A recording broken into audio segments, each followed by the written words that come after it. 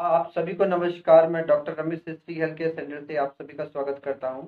और जैसे कि हमारा निरंतर प्रयास रहता है लोगों को स्वास्थ्य के प्रति जागरूक करना है, उनको हर प्रकार की सुविधाएँ प्राप्त करानी है। उनका समय और पैसा जो दोनों है वो बचाना क्योंकि ये सारी सुख सुविधाएँ उनके घर के आसपास उनको मिलना शुरू हो गई सृष्टि हेल्थ केयर सेंटर के माध्यम से। और आज हमारे साथ एक अंकल जी बैठे हुए हैं और जो, जिनको क्या फ़ायदा यहाँ पर आने से हुआ है, मशीनरी ट्रीटमेंट उन्होंने जो लिया है जो यहाँ की दवाइयाँ उन्होंने ली है जो यहाँ के सप्लीमेंट उन्होंने लिए हैं उनसे उनको क्या क्या फ़ायदा हुआ है? आइए उनके ही आ, से सुनते हैं और उनका सबसे पहले जानते हैं अंकल जी आपका नाम क्या है और आप कहाँ से और क्या क्या दिक्कतें थी जी मेरा तो नाम खिमत सिंह है जी। जी। तो मैं ग्राम सभा सिंह से हूँ जी। तो मैंने आपके यहाँ से ये दो दवाई जो ले गई है हाँ जी हाँ जी। इससे मुझे बड़ा बड़ा काफ़ी फ़ायदा हुआ फ़ायदा हुआ फ़ायदा हुआ।